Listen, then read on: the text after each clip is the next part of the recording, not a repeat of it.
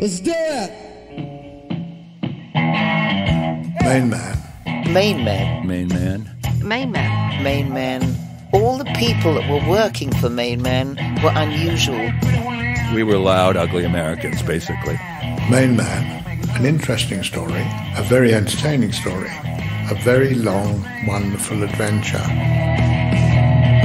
Hello, and welcome to episode 59 in our series exploring the history of Main Man, the management rights company which was renowned in the 70s for transforming the business of rock and roll.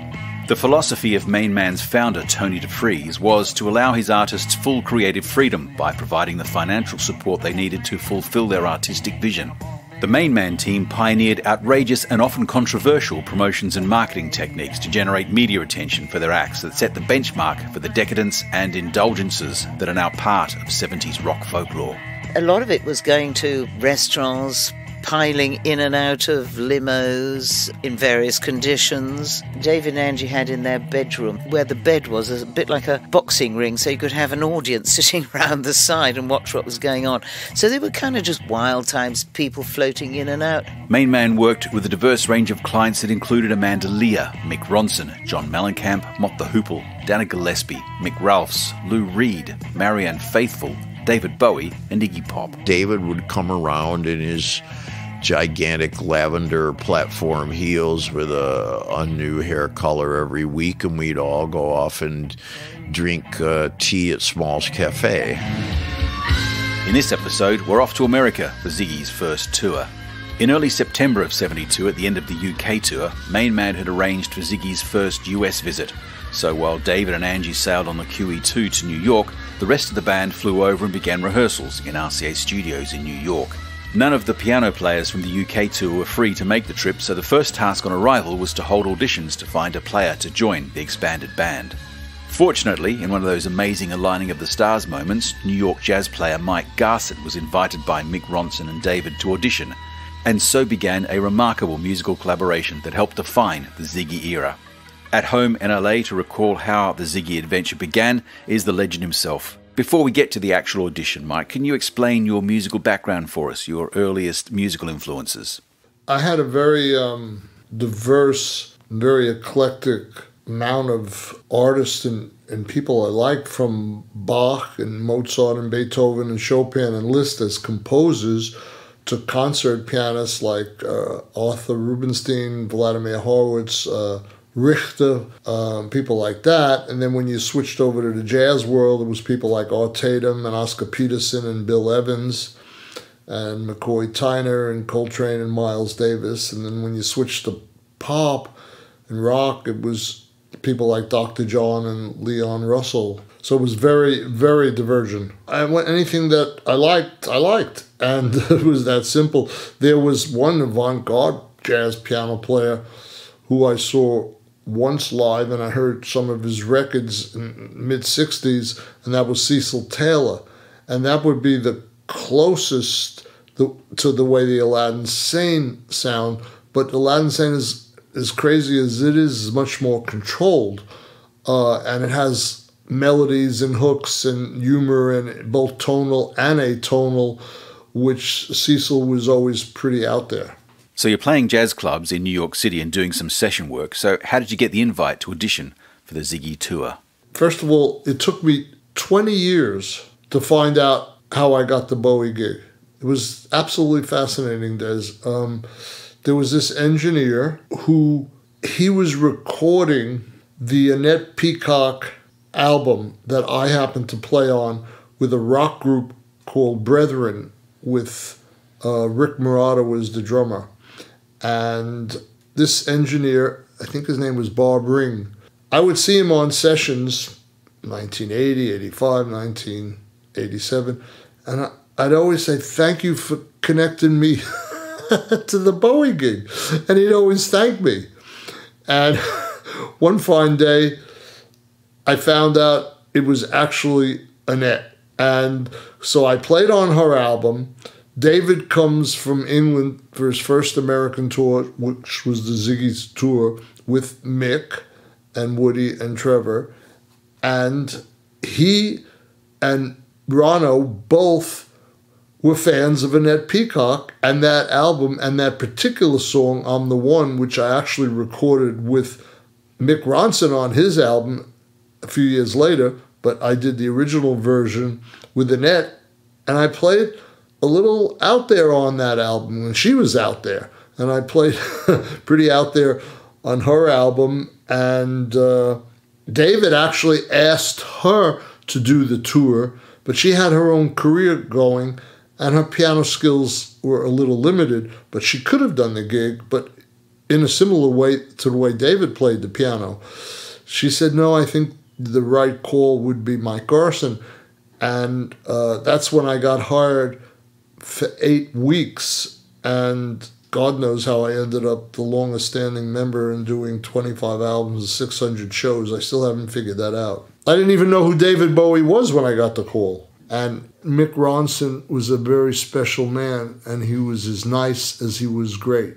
And, and, and he embraced me because I was uncomfortable initially. They all watched the audition from the studio window, but he sat with me at the piano when I played changes, and it was an eight second audition, and and then that was it. And he said, "You got the gig." I said, "Mick, I haven't even started to play." He said, "I could tell I played the piano."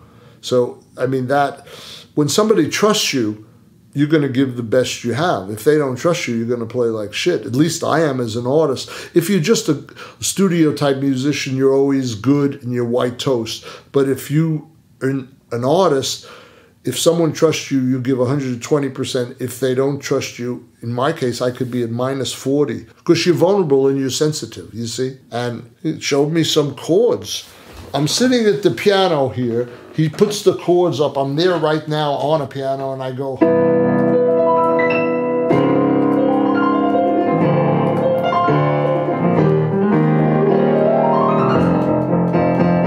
he said, Stop, that's it. You got the gig. Changed my life. This was the first time you'd met any rock musicians and any from the UK, especially anyone like Ziggy and the Spiders from Mars. What did you think when you first met them? My first thought is, am I in the fucking circus? You know, I walked into RCA and they were, it was the middle of the week. I come to the audition and they are dressed like they're going on stage at Carnegie Hall, each with their hair in a color that had to have been dyed and clothing like you've never seen and boots going up their ankle. And I'm thinking, I'm, I, I go down there and I'm in jeans and I'm thinking, where am I? But something told me this is going to be an interesting ride. From what I recall, I think Woody, before he even got that gig, was doing work as a plumber. So they were shocked and they were a little resistant because they were, you know, guys from Hull, right? They got into it. I got a kick out of it and I liked it because I knew okay, I'm in a show now, you know, so it was like, oh, this is Broadway or this is Vegas, but it's better music, but this is what he wants, I'll do it. But they they were resistant because it just wasn't part of their their world, but they got into it, you know. In my mind, what happened is I was playing 8 hours a day, then I go do a 6-hour jazz gig and a few days before I had the audition with Mick, I was in a jazz club I made five dollars, and there were five people in the place, and these are people who were playing with Miles Davis and everything. And I come home to my wife. The rent in Brooklyn was one hundred and fifty dollars. I made five dollars, so I said, if I do this every day, thirty days, I make one hundred and fifty dollars. We still don't have telephone bills, car, gas, food. Something's fucked up about this. I think I'm going to go out with a rock band, and you got to watch what you wish for. And the next thing that happened is. Uh, David called. And then once I heard David sing, I knew I was dealing with a genius. I'd actually, on that first Ziggy tour, slip out into the audience because I only played about 12 of the 20 songs because some didn't need piano. So when they didn't need me, I would slip out and watch him because those, as you know, some of those gigs were not sold out. So I pop into one of the seats in the first or second row that was empty and look at this guy probably the only time I saw him from the front because I was with the keyboard always behind him and I got to see him and he was new to this world as Ziggy and I thought this guy has what I call the it factor IT. and that was it. And you started rehearsing as soon as you got the gig, so you didn't have long to prepare. It was very quick. One of the most hilarious things that happened is I, I show up and I start playing and I look to my right of the, of the piano and I see what I thought was a sound system. I saw all these speakers and they went up pretty high and they're focused right at me and it was loud. And I'm just coming from jazz clubs with no amplification on shitty upright pianos, and this is a grand piano, and there's these speakers to my right. And I said, very shyly, Excuse me, I think the PA system is facing in the wrong direction. And it was my monitors. And I thought, oh shit. And, he's, and they pointed up to the sky, and there was this PA system that was 10 times bigger than my monitors. And I said, oh, I've arrived in the rock world. This is going to be either something I hate or I love. And I ended up really enjoying it. And I'm guessing that some of the small jazz clubs that you were playing in New York had no amps at the time or microphones, which is why all this technology was so new to you. Oh yeah. The I mean even acoustic upright bass players they were using gut strings on their bass and, and they didn't even have an amplifier. I worked with Jimmy Garrison, who was Coltrane's drummer, and Elvin Jones. No microphones, and uh, Elvin was Coltrane's drummer, and the cymbals were very close to my ears, and, and it was painful and it hurt, but no amplification for the piano. But it was also gratifying because you could hear everything clear. It was just a little too loud. and as this was the first time being on the road with a rock band, how did you find the other life that happens while on the road away from playing? I'm not too helpful in that area for you um, because it wasn't my thing and i would sort of just go to my hotel after and work on the music and i was already uh, married then and i had a daughter so so i was living a different life and i wasn't really interested in that world. I wasn't rude when there were big parties yeah, after carnegie hall madison square garden or wembley whatever I, I would certainly go but it wasn't my thing. So i was i knew them all and they were all lovely in their own way and unique and Mick Rock too, you know, but I did not um, socialize at all. So I can't say that I, I knew them well, except I liked them, and they were all very colorful. We've heard from several of the main man team in this series who were on the road with the band that sometimes, especially in the southern states, some of the locals didn't take too kindly to these weirdos arriving in their hometown. Absolutely. And of course, I've experienced this on jazz gigs going to the South. You're not totally welcome there if you had long hair or whatever, no less looked like the band looked. And I'm thinking, oh, Jesus, we're going to be attacked here. You know, I better get out of here, you know. Not much different than these days. but but but that's where we were. What can I tell you? The first gig was in Cleveland, and one of the most hilarious things about it is I had the music, I was just learning his music and I had it on the piano and they play an encore and the encore is over and and I see the spiders and David zoom out of the a back entrance running. And I'm thinking, where are they running? And I'm putting my music together very slowly and organizing it for the next show. Which song comes first? When are we doing Ziggy? Blah, blah, blah, blah. And I see a thousand people charging the stage. And I said, oh, fuck, I better get out of here. And I picked up my music and I started running and I found them somewhere downstairs in a garage, you know, slipping out. And talking about a not a, a gun, it wasn't a gun, but some kids had scissors and they were trying to cut off David's orange hair. Once you're on the road with the tour and you'd familiarized yourself with the music, what did you think of the tracks from the Ziggy album? I was pretty busy, caught up in the tour, but I knew we struck gold. I, I knew that it wasn't going to be like uh, the White Album or something like that because it's just a little too out there. But it, I knew it was a great album and it was something to be proud of, you know.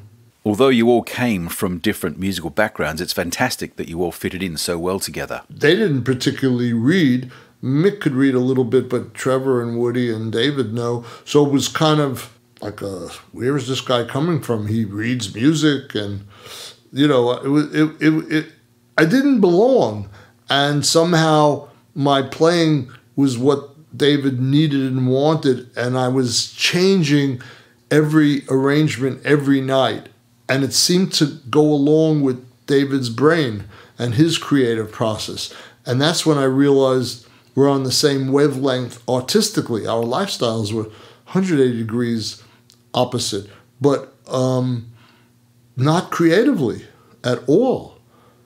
And uh, that was very fulfilling to me. I was a little confused how we could have been so similar um, artistically, but very different as personalities. So the Spiders all had their Ziggy outfits. What did they arrange for you to wear? I wish I could get a hold of the clothing. They took it all back after the tour, but they put me in a snazzy tuxedo with a. It was gray though, and had a flower sort of by the lapel. Well, I figured it out quickly. I better get some of my own clothes also. So I go to this place in Hollywood. I think it was in Sunset Boulevard. And I walk in there. I said, I'm in the right place because there was Elton John buying something. So I got these gigantic shoes that went up very high. They had, they were very trendy at the time. And then they set me up with this tuxedo, but it wasn't like a, a wedding tuxedo. It was like very modern with tails, but it wasn't like over the top the way they looked, but it was functional for me as a, as a piano player, right? After the first two warm up gigs in Cleveland and Memphis, DeFries then booked the band to play Carnegie Hall in New York City. Not too many rock performers had played that famous venue before, and you were very aware of its illustrious history. How'd you find the gig? I always wanted to play in Carnegie Hall, and I wanted to play classical music there and jazz. And I didn't end up doing that for another five, ten years after David, but I did appear there the first time in a rock context, and well, I could still say I played at Carnegie Hall. I just didn't say it was with David Bowie. It, it was almost the wrong venue. You know, it's you want to play acoustically there in a funny kind of way. But you know, we had good sound engineers and monitor people. It, sounded fantastic, but it felt that I was in the big leagues. You know, this it was a great band. David was very unique, and uh, the thing that I always keep coming back to is like he was to all his fans around the world. Where if there was one sentence I had to say about the guy, it's like if I was to do a tour and I was dedicating it to him, I'd call it the Be Who You Are tour because it, that's what he stood for. So he allowed me to be myself. And whatever I heard in my head, and trust me, my head is full of a lot of music, I would just play it whenever I felt it in any song at any time. And he never disagreed. And he would always smile. And I played changes different every night, Life on Mars different every night. And Woody and Trevor would look at me like, what this guy's nuts. But Mick got it, Ronno got it, and and and he was my ally because he uh, he's the one who actually auditioned me, you know. And and he had taken some orchestration lessons with Tony Visconti, so he already was writing string arrangements, and he was big talent, and he would play very good piano, and of course my favorite guitar player in rock. He's he's an unsung hero. He he even did the end of See Emily Play on Pin Ups with me playing the piano, and he did some wild stuff behind me with strings. He was great on vocals too. He and David complemented each other so well. Some uh, sometimes you couldn't tell who was singing. Um, the voices blended like no other. You know, maybe Simon and Garfunkel. You know, but th- that's about it. I mean, the, they were just fantastic to watch and listen, and I have to say, it was a shame when that was over. It, it, it needed to be over at a certain point because David had to stretch his wings, but it was six months too soon for me, for certainly for, for Woody and, and Trevor and Ronno. But that's that's David's choice, and he always stopped sooner than the fans wanted because he was a Renaissance guy and a genius. So he would know more than us uh, the overall thing. That's where one of his areas of, of, of, brilliance, you know? You would have seen several times over the years working with David, he always moved on very quickly. Totally. Even on tours, when he was done with the tour, which sometimes was 10 or 15 or 20 gigs before we were done with the tour, it wasn't fun hanging out because he was done on to the next thing. Even Aladdin Sane he was working on when we were touring with the other music, the Ziggy music. Speaking of that music that he was writing for Aladdin Sane, when did you first get to hear about it? When I walked into Trident Studio in 1973, it was uh, on a need to know basis he'd like just springing it on me. I, I actually did no recording in New York for the Aladdin Sane. I did it all at Trident on that fantastic Bechstein piano with the my favorite engineer of all his engineers was Ken Scott, and they had these uh, speakers that they play back on, and it's not like these days. Those days they were gigantic speakers on the on the wall, and every night we blew them out. And the next day, there's a new set in. And of course, Tony DeFries and they were trying to make everything big and bigger than life and PR it in such a way, as you know. So they had no problem just putting it on the bill for RCA, and there was another set of speakers every night. And talk about playing the music loud, forget about it, you know? Everything about that album happened very quickly. How much time did you spend recording? I know my takes on time and Lady Grinning Soul and Aladdin Sane are pretty much first takes. If you think about it, even to this day, it's out there for a rock album, but more people, it influenced a lot of people to feel safe to stretch it that they saw it was okay with David, and I did it. But that particular version that you know was a first take. However, I played a blues solo first and David said that was too commonplace on Aladdin Sane. And then I played a Latin solo, and David said that was too common. So he said, Can you do something that you used? We would hang out, so he would ask me about the jazz scene in New York because he was very curious, and he was a sax player. And we would talk about Charlie Mingus and different people. And he said, Can you play some of that avant garde music like you told me you did? because uh, I used to jam with a piano player on one piano, four hands, and we'd be playing with our elbows and fists and all sorts of experimental stuff. he said, Can you play like that? And I said, That's exactly why I'm not working Saturday night, David. And he said, Leave that to me. I know how to frame it. It worked. Your playing was so different to anything that the Spiders had heard before, especially on the title track. What did they make of it? It was they were shocked and fans. They became fans of me. It was really a validation. I wasn't doing it for the acknowledgement, but it was so off the wall. But I played it like a rock guitarist plays, you know, that no, you don't hold back. And I don't think I could conjure that kind of energy up now. I think you have to be 26 or 27 to do that. I could play it as fast and as clean, but I don't know that I could muster up that energy. I could for maybe another song with another intention because I still have the, the music and energy in me, but that particular energy at that point in time, I think that's what's poured into that track. Because if you were to listen to the David live album, there's a version of Aladdin Sane that actually is even faster and more notes. And in 40 some odd years, no one has mentioned it to me. And the one that you're talking about from that title track, I get an email every day for the last 30 years from somewhere in the world. Every day, every day. Because David asked you to improvise, it must have been like performing live, but in a studio instead of a New York Jazz Club. Very much so, but this was in a studio, don't forget. So the audience in that case was Mick and David and Woody and Trevor and, and Ken. And I played to them, and listen, you couldn't play a wrong note on that piano because the Beatles recorded on it, the Queen recorded on it. So, you know, it's like I was cheating. Uh, uh, the notes, I just had to find them. They were in the air in that studio. I just had to just listen and be there and let the music flow. And, and it came out. I mean, most people only know me for that. And I've done thousands of tracks, many hundreds of albums, and all sorts of music. I've written over 6,000 classical pieces.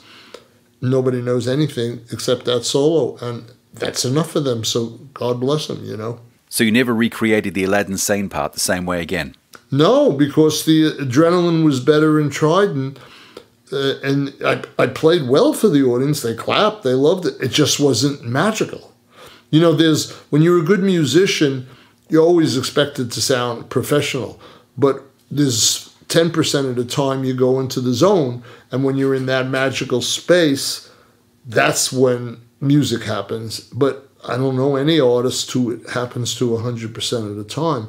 Many of the tours with David, he would come to me and he'd say, you know, we were good, but we weren't really into it. And then other times he'd say, that was it, Mike. So he liked sharing that with me. And we knew when we were phoning it in versus just in that moment, just killing it. As you said earlier, David gave you free rein to play what you felt. He never gave you specific instructions on what sort of feel he was after. No, he, he never said anything about anything. He directed that one because he was looking for that avant garde sound, but he just said, What do you hear on this Lady Grinning Soul? What do you hear on time? And I just played what I thought was appropriate for the songs. I mean, anything I played was out of the realm of rock and roll. I don't remember what was the most famous newspapers in 73 in England. Uh, there were the Times, the Sun, the Mirror, the Guardian. So I don't know if it was the Sun, but on a Sunday, I got the paper. It was either the Guardian or the Sun, and I got the paper, and on in the art section, right on the top, it said Mike Garson is the best rock pianist in the world because he doesn't play rock. David Bowie. That's what he. That was his quote. And he was right. You know, I didn't play rock. I still don't play rock. I mean, I, I, I can imitate it, but it's not where I live. I'm an artist that is an improvising musician. That's really what I am.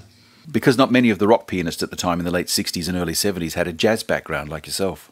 No, I loved what they did. And Billy Joel after and all that, I, and I still do. And, and, and, and even Keith, who was a fantastic piano player, uh, Keith Emerson, but none of them had that jazz training. They they all had the classical training, but I had that too. But they I had studied jazz already with Lennie Tristano for three years, who played with Charlie Parker, who was a blind pianist. I had studied with Herbie Hancock. I had studied with Bill Evans. I had studied with Chick Corea. So I, I was bringing a whole. I was bringing the jazz and classical worlds to the best I could do to David's world, and and he was receptive.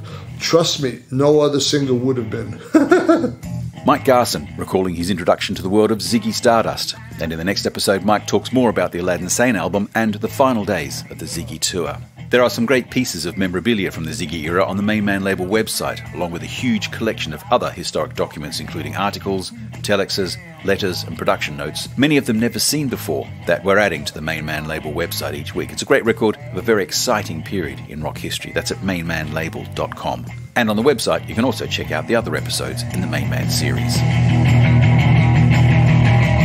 I'm Des Shaw. This is a Zinc Media MM Tech production.